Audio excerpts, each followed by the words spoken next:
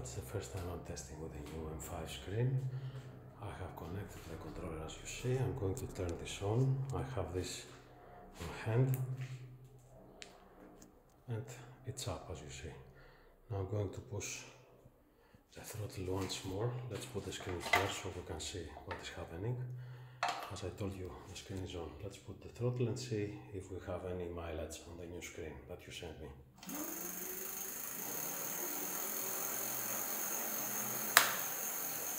It is perfectly clear to me and as I have told you in the beginning, the skin was never an issue.